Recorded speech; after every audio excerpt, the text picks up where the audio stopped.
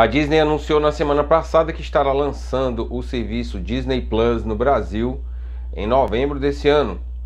Depois de ter sido lançado no ano passado nos Estados Unidos, no Reino Unido e em diversos países ao redor do mundo, o serviço de streaming da Disney finalmente chega ao território brasileiro, prometendo muitas novidades. Quais as características? O que tem no catálogo? Quais as vantagens e desvantagens desse sistema? Você confere agora aqui no Mobilete Repórter.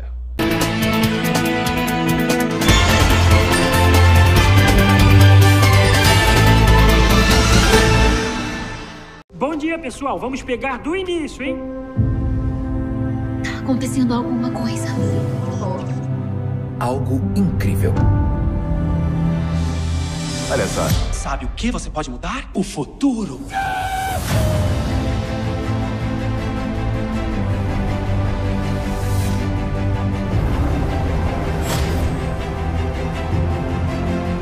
Que a força esteja conosco.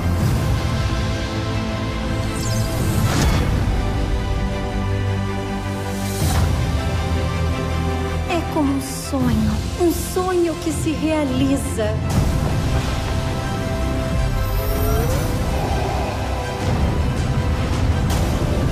Você tem uma coisa muito rara. Mágica.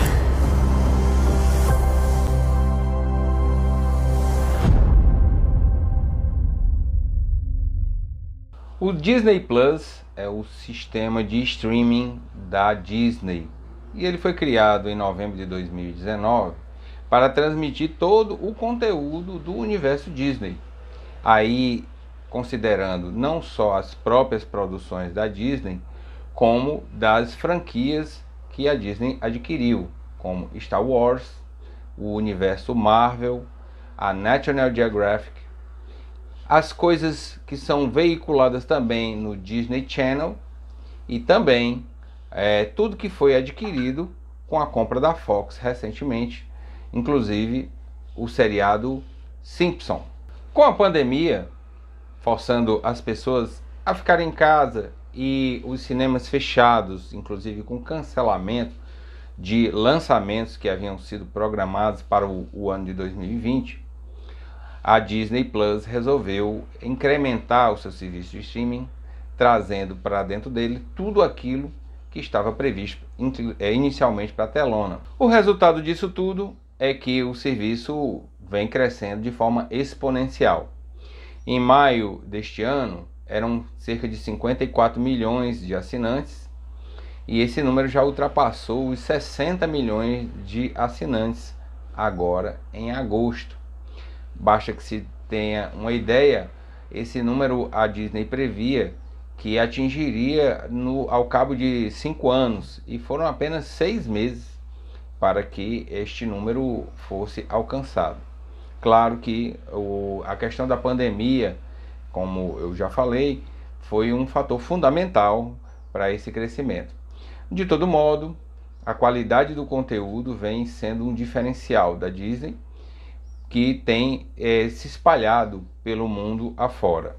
O serviço que tinha inicialmente sido lançado apenas nos Estados Unidos e posteriormente no Reino Unido já se espalha agora por uma grande variedade de países em todos os continentes: Alemanha, Itália, é, Japão, Austrália, Nova Zelândia. Em breve será lançado também na Indonésia e no, em novembro será lançado aqui no Brasil. O crescimento realmente vertiginoso que faz com que a, a concorrência dentro dos serviços de streaming fique ainda mais acirrado. A data oficial de lançamento no Brasil foi apontada pela empresa no, como sendo o dia 17 de novembro de 2020. Ainda não há uma divulgação oficial do valor que vai ser cobrado a título de mensalidade dos assinantes, mas uma consulta às plataformas de aplicativos da Android e da Apple já dão é, um indicativo de que esta assinatura vai ficar ali na casa dos 28 reais por mês, o que é uma assinatura cara, se você considerar que a assinatura de entrada da Netflix é na casa de R$ 21,90, a Globoplay também na casa de R$ 22,00 e os concorrentes Amazon Prime e Apple Plus ainda ali na casa dos nove reais, de 9 a 14, 15 reais. Ou seja, a plataforma da Disney, se confirmado esse preço, chega ao Brasil como sendo uma das mais caras. Os filmes do catálogo, que são variados, serão é, disponibilizados em alta tecnologia, tecnologia 4K e som é, de altíssima qualidade. É, ele será permitido, segundo as informações iniciais, a transmissão por até quatro telas, quatro dispositivos.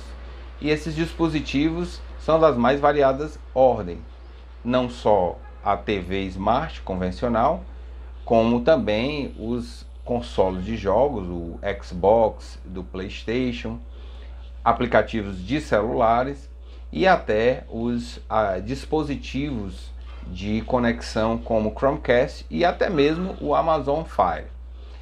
A confirmar ainda tudo isso, mas o que aponta é realmente uma universalidade de meios e modos de acessar o conteúdo da Disney Plus.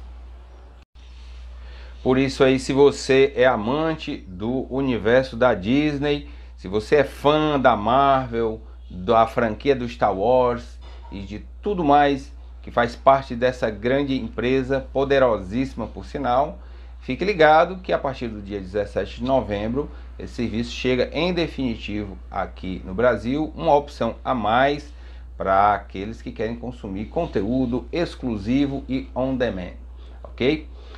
O Mobilete Repórter vai ficando por aqui e volta a qualquer momento com uma reportagem mais do que especial. Música